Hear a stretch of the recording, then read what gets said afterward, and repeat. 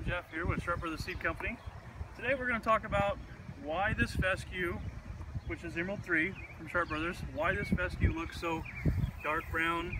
And as you can see, it's extremely short. And you can tell right here from these blades of grass that this is what it looks like. It looks chopped off, brown on top, and very choppy right here on the very top of this. Unfortunately, we had a malfunction with the lawnmower when this was mowed um, about three days ago and uh, the deck was lowered way, way, way too short as you can see. Um, we're about June 22nd in 2016 here and this is pretty much in the middle of heat of the summer. Some lawns look like this because of they are in stress and because of the drought, because of not getting any rain, but this grass here was actually cut way too short, for one, and two, it was cut by a dull blade. The reason why I can tell it's cut by a dull blade is because when the grass is choppy, like my fingers here, you see where they're all uneven? It should be cut like this, straight across. And so when the grass is actually cut by the lawnmower, it takes it clean off.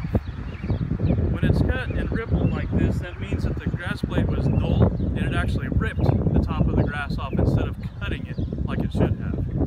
So as you can see from the yard, it looks pretty bad. It's got a lot of yellow spots in it. Um, there is some spots that are coming up that are getting greener, but mostly it's pretty much yellow and looks not very good. So take it from the operator that done this.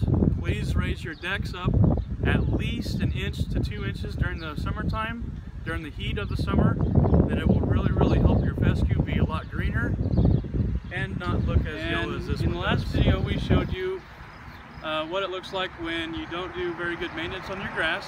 Today, we're going to show you another yard that's directly across the street from where we were at. Um, this is at the church in Healy, and this grass is the same type it was across the road, which is our Emerald Sport Blend. It has uh, turf-type tall fescue, as you can see here from the, see if I can get one here, the thicker leaves. And then it also has the um, bluegrass in it, which is the thinner leaves. So here's a comparison basically whoop, of the, the bluegrass and the tall turf type fescue. Um, the reason why we have the bluegrass and the fescue mixed in together is because as you can see they make a very good uh, durable yard. This yard gets played in pretty much all summer long by the kids and as you can see it's very very well groomed and looks really nice. One of the things that I showed you on the last segment was is how good or how bad the the buffalo grass was cut or the I'm sorry the fescue was cut. As you can tell by this blade of grass here, it's almost straight across. There's hardly any brown at the top of this uh, fescue blade. And as we said before, the best cut as you can have is a nice sharp blade that cuts right across the grass and actually cuts it and not pulls it. If the tops of your grass look really, really brown like it did in the past video, basically you're gonna get the shards where it actually pulled the grass when it when it tried to cut it and that is obviously due to um, your blades being dull or uh, you mowing too fast with your lawnmower will do that same thing. So we wanted to show you what an actual good green lush yard looked like. So that's what we have here.